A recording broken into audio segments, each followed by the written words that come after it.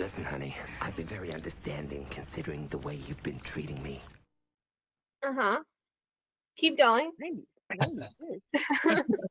Continue. I guess I guess I'll read the synopsis. It says Melinda Clarke stars as the latex-clad Candy, a beautiful bank robber hiding out at a desert gas station run by nuns while awaiting her boyfriend's release from prison. After being exposed to a falling piece of alien meteorite, Candy grows an extremely long homicidal tongue with a taste for human flesh, while her pet poodles, who have also been exposed, transform into flamboyant drag queens. Sure Wow. thing. So that's okay, now I get it. Is. So she, her tongue was like that because of the meteor? Is that what you said? Mhm. That's it. That's yeah, what you are going to tell us about. this was your research assignment. We- Yeah. we, knew we were in trouble.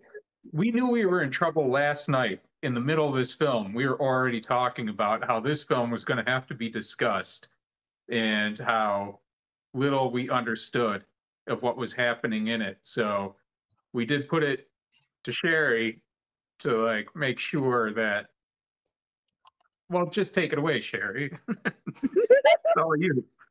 Uh, I said in the chat, I fear I may let you down, but I will try. And I honestly, said nonsense. You would never do that. you were wrong. I uh, I have more questions than answers. Honestly, I took some notes, tried to try to make it make sense. Oh yeah, hours ago you sent uh, the message in our group chat where you said, "I have more questions" or something about about this now. That's when I knew we were in trouble. Yeah, none of y'all helped me beforehand either. Like I have questions. Nobody wants to help me figure out how to do this.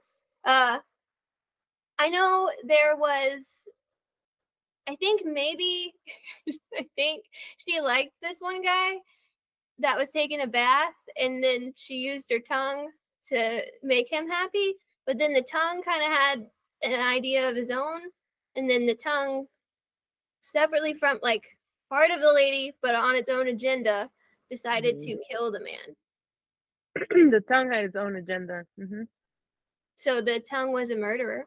I got that. Let's all go to the lobby to get ourselves a treat.